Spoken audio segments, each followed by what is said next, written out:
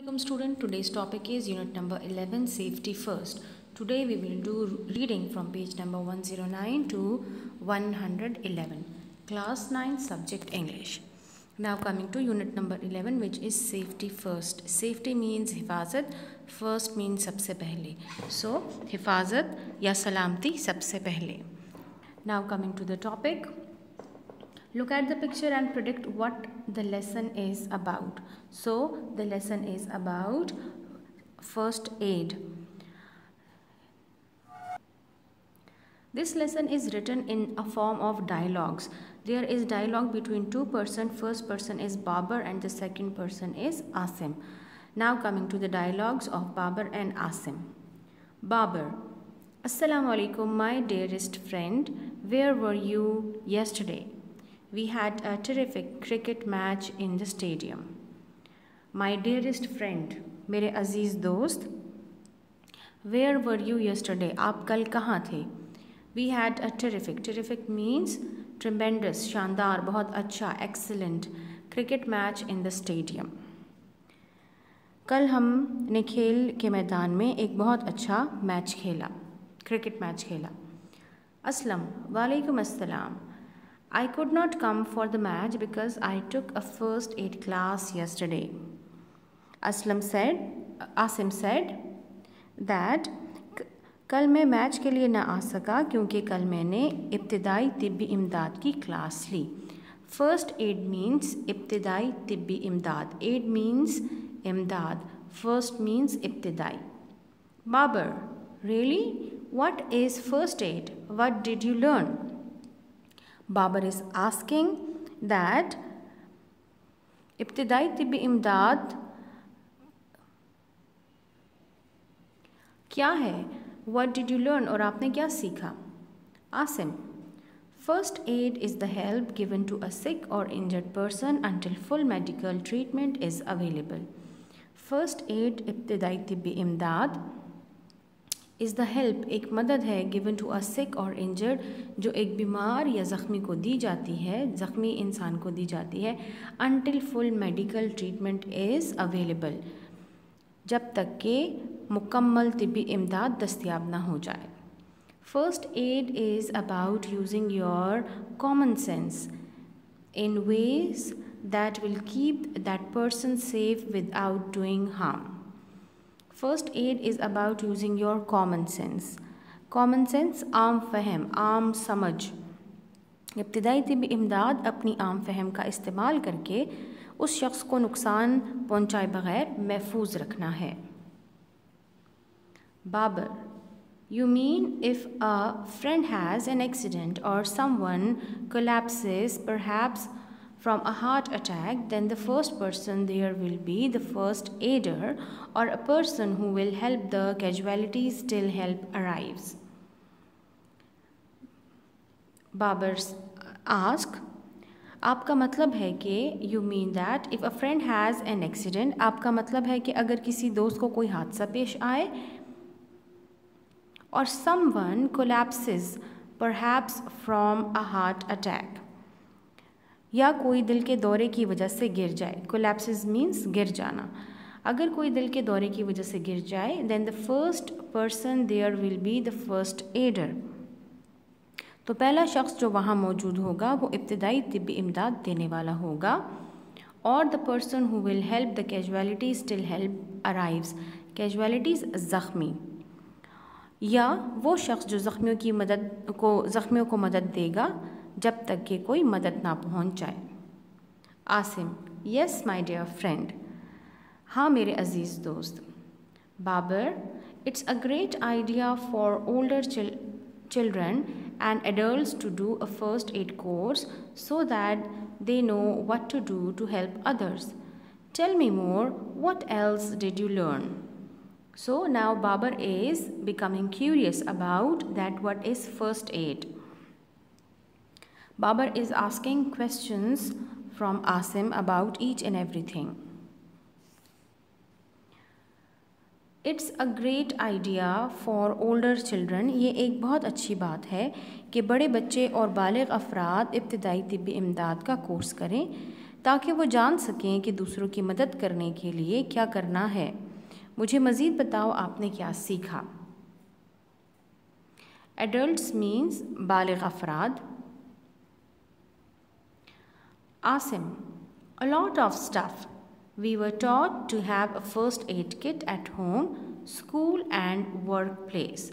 A lot of stuff बहुत सी चीज़ें stuff means बहुत सी चीज़ें a lot of stuff he learn a lot of stuff we were taught हमें सिखाया गया to have a first aid kit first aid kit means इब्तदाई तिबी इमदाद का box first aid kit means इब्तदाई तिबी इमदाद का बॉक्स कहाँ पे होना चाहिए? घर पर स्कूल पर और वर्क प्लेस काम की जगह पर। Babar what is a first aid kit what should I keep in my first aid kit now Babar is asking इब्तदाई तिबी इमदाद का बॉक्स क्या होता है और इसमें क्या रखना चाहिए? Asim Now, Asim is describing that word first aid kit should have. Asim a basic first aid kit में कंटेन एक बुनियादी इब्तदाई तबी इमदाद के बक्स में ये चीज़ें होनी चाहिए। First one is adhesive plasters in a variety of different sizes and shapes adhesive adhesive means चिपकने वाला। मुख्तलिफ़ अकसाम और साइज़ के चिपकने वाले प्लास्टर होने चाहिए। Small medium and large sterilised gauze dressing जरासीम से पाक छोटी, दरमियानी और बड़ी जालीदार पट्टियाँ होनी चाहिए। स्टेलाई स्टेलाई मीन्स जरासीम से पाक गॉज जाली वाली dressing पटियाँ। At least two sterile eye dressings eye dressings means आँखों पर लगाने वाली जरासीम से पाक कम अज़ कम दो पट्टियाँ होनी चाहिए। Triangular bandages triangular the shape of the bandage should be triangular crepe rolled bandages नरम कपड़े से बनी गोल पट्टियाँ safety pins बक्सुए dispose disposal sterile gloves disposable sterile gloves जरासीम से पाक, काबिल तल्फ दस्ताने. डिस्पोजेबल जब आप उसको इस्तेमाल कर दें तो आप उसको फेंक दें. ट्वीज़र्स ट्वीज़र्स मीन्स चमटे. सिजर्स मीन्स कैंची.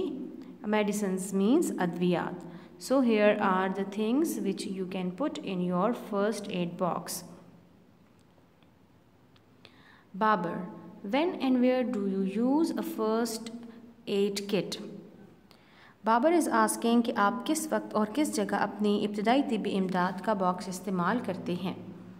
Asim make sure you know how to properly use all the items in your kit specially the medications train others in your family to use the kit you may be the one who needs first aid.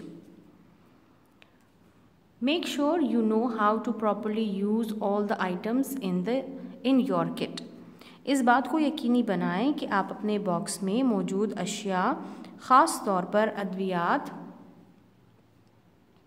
का इस्तेमाल किस तरह करना है, इसके बारे में जानते हों।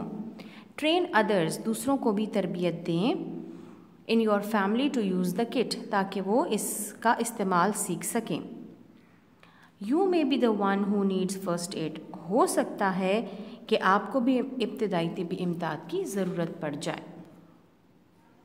Babar you are right just having a first aid kit is not enough one must know how to use it Babar is saying आप दुरुस्त कह रहे हैं, सिर्फ़ इब्तदाई तबी इमदाद का बॉक्स घर में मौजूद होना काफ़ी नहीं है, बल्कि इसके इस्तेमाल का तरीका भी आना चाहिए। Asim exactly First aid is all about what to do in emergency situation. First aid इब्तदाई तिबी इमदाद इसी बारे में है कि आप हंगामी सूरत हाल में क्या कर सकते हैं एमरजेंसी सिचुएशन हंगामी सूरत हाल for example what should you do if you burn yourself on a hot stove मिसाल के तौर पर अगर आपको गर्म चूल्हे से चूल्हे से ख़ुद को जला लें तो आप क्या करना क्या करेंगे? आपको क्या करना चाहिए? Babar. My grandmother says that you should put butter on the burn Babar is saying that मेरी दादी कहती हैं कि जली हुई जगह पर आपको मक्खन लगाना चाहिए। Asim no that's the worst thing to do Asim, नहीं, ऐसा हरगिज़ नहीं करना चाहिए। वर्स्ट थिंग ये बदतरीन चीज़ है। Babar oh then maybe you should put ice on the burn Babar ने फिर कहा, और फिर यह हो सकता है कि जलने की जगह पर आपको बर्फ़ रखनी चाहिए। Asim no the first thing you should do when you get a minor burn is run cold not cold Run cool, not cold water over the burn area for about 20 minutes. For the first, you should minor burn minor burn छोटा अगर आप छोटे हिस्से को जला लें। अगर आपका जली हुई जगह इसका एरिया छोटा हो। Run cool cool means cool water means ठंडा पानी नॉट कोल्ड बहुत ज़्यादा ठंडा ना हो। Over the burn area for twenty minutes so what one have to do नहीं, सबसे पहले जली हुई जगह पर तकरीबन 20 मिनट तक ठंडा पानी, जो कि ज़्यादा ठंडा ना हो, बहाएँ। Later cover it with a sterile non adhesive bandage or clean cloth बाद में जरासीम से पाक और ना चिपकने वाली पट्टी या कपड़े से इसको ढांप लें। How about this what should you do if someone is choking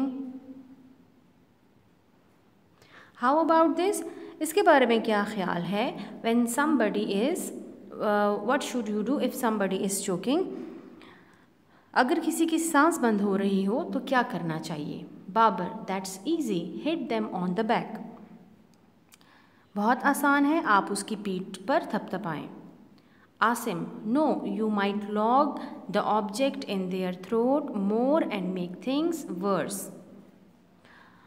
You may log. Log means गले में कोई चीज़ फंसी हुई हो blockage in the throat.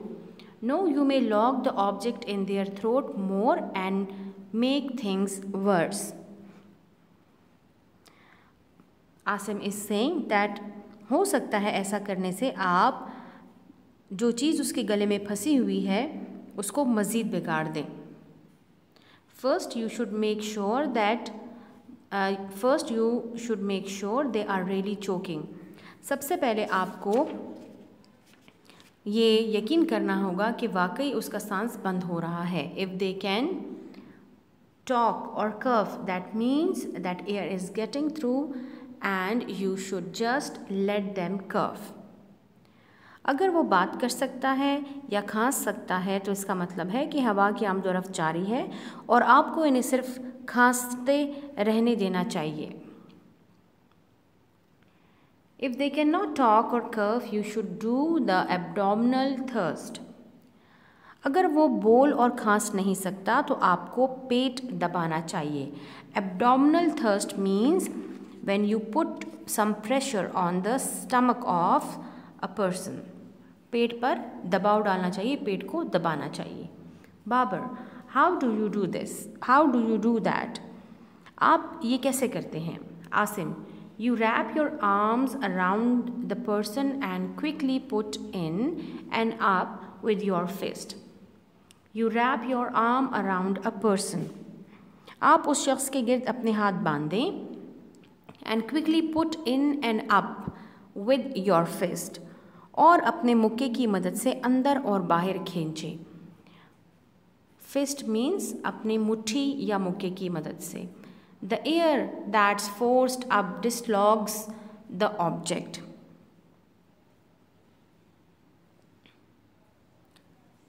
the air वो हवा that forced up dislodges the object वो हवा जो ऊपर खींची गई होगी, वो फंसी हुई चीज़ को निकाल देगी।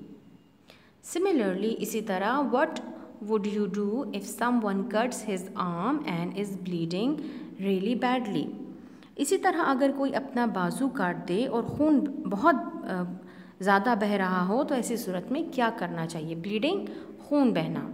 रियली बैडली बहुत ज़्यादा, बहुत बुरे तरीके से। Babar panic Babar answer is that if someone is bleeding his hand I will panic panic means परेशान हो जाना, घबरा जाना, खौफजदा हो जाना। Asim take a deep breath to calm down a little call on the emergency phone number for help and in the meanwhile you should put a cloth over the wound apply pressure and elevate it take a deep breath to calm down a little गहरी सांस लीजिए ताकि थोड़ा सा पुरसकून हो जाए। Call on the emergency phone number for help emergency phone number means emergency हंगामी। आपने मदद के लिए हंगामी नंबर पर कॉल करनी है। And in the meanwhile और इसी दौरान you should put a cloth over the wound apply pressure and elevate it और इसी दौरान आप ज़ख़म के ऊपर कपड़ा रखें और इसके ऊपर दबाव डालें और फिर इसको उठा लें। अप्लाई प्रेशर दबाव डालना एंड एलिवेट इट और फिर इसको ऊँचा कर दें। हाथ ऊपर की तरफ उठा लें so it will not it will the bleeding will be control Now coming to activity. Your activity is that you have to do reading of the text along idiomatic translation.